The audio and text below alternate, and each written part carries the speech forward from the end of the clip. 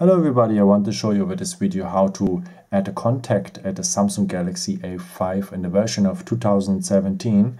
Um, what we have to do, so at first let me tell you that there are two ways, I will show you both. Uh, one is to go on the contacts, on the apps and then on the contacts, in case you don't have it on a desktop. And then we give the name of the person you want to add, let us uh, give the name Peter First, you give you also advices maybe to persons you have already in your phone. Maybe you want to add a contact to them or you have the contact already. Okay, and after you give the phone number, Peter have a very simple phone number, and after you go on save.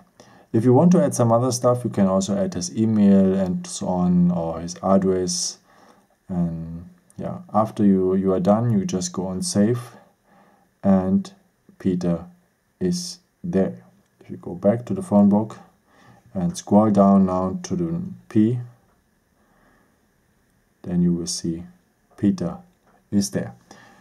Then you can also, if you realize maybe, okay, maybe I want to add the last name or I want to change the name of Peter, um, you can go to that, um, to the contact and then you have the opportunity to call contact directly to message or to go on details. Let's go on details. And if you want to edit you just go on edit and then you can add maybe a last name or you can change the number in case the number were wrong.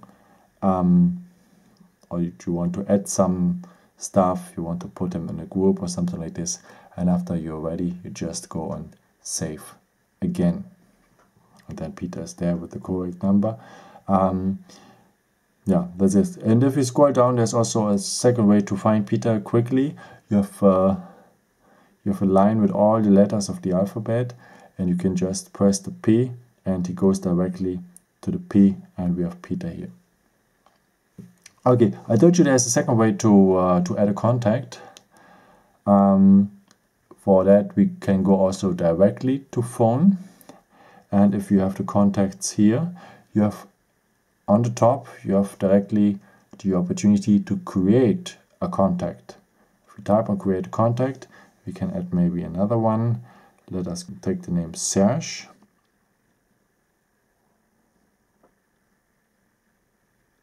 Yeah, then let's enter phone number. You see and let's add the email. And yeah after you go on save again and Sash is now part on your phone book. As I told you if you don't want to scroll down to the S to find him just go directly on the alphabet list here and he will guide you to the uh, S and there is Sash. yeah, I hope I could help you with this video uh, you see there are two ways and I think it's not too complicated to add contacts to the Samsung phone. Um, if you have any questions, you can leave me a comment. If you like this video, if I, I hope I really could help you with this video, you can leave me a comment and uh, you can give me also some thumbs up. It's very helpful for my videos. Thank you so much for watching. Ciao!